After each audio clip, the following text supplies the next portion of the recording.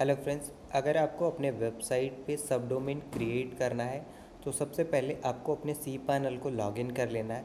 And login करने के बाद ना, आपको नीचे डोमेन वाले ऑप्शन पे आ जाना है। यहाँ पर आपको जो है एक ऑप्शन दिखेगा सब डोमेन्स का।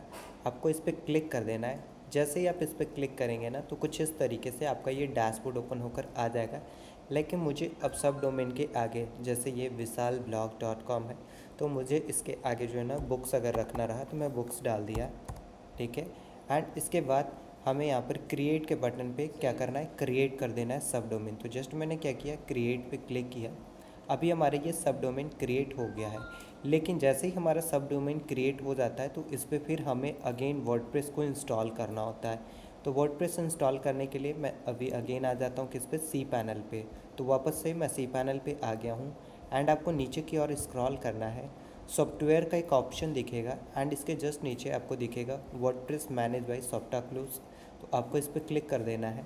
एंड क्लिक करने के बाद आपका जो है वर्डप्रेस कुछ इस तरीके से यहाँ पे इंस्टॉलेशन मैनेजमेंट जो होता है वर्डप्रेस का ये ओपन हो जाएगा। इंस्टॉल के बटन पे आपको क्लिक करना है। जैसे आप इंस्टॉल के बटन पे क्लिक करेंगे तो यहाँ पर आपसे पूछेगा कि आपको किस डोमेन पे आपको जो है वर्डप्रेस इंस्टॉल करना है। तो आप इस पर क्लिक कीजिए।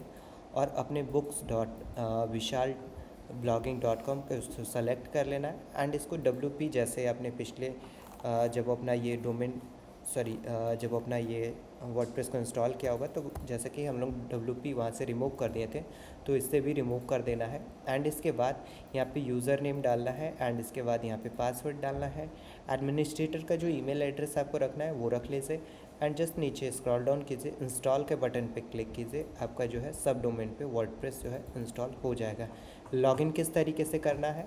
लॉगिन करने के लिए आपको लिखना है books dot Vishal blog dot com and slash W P dash admin और जो पासवर्ड और जो ईमेल होगा वो डालकर उसे लॉग इन कर लेना है। तो ये बेसिकली आप जो है ना सब डोमेन का सेपरेट वर्ड प्रेस होगा, ठीक है? तो इसमें कंफ्यूज नहीं होना है कि आपको सेम वर्ड प्रेस से लॉगिन करना है या फिर अलग। ये books dot Vishal blog dot in इसका अलग हो गया और विशाल डॉट कॉम का ये विशाल ब्लॉगिंग डॉट कॉम का ये अलग हो गया।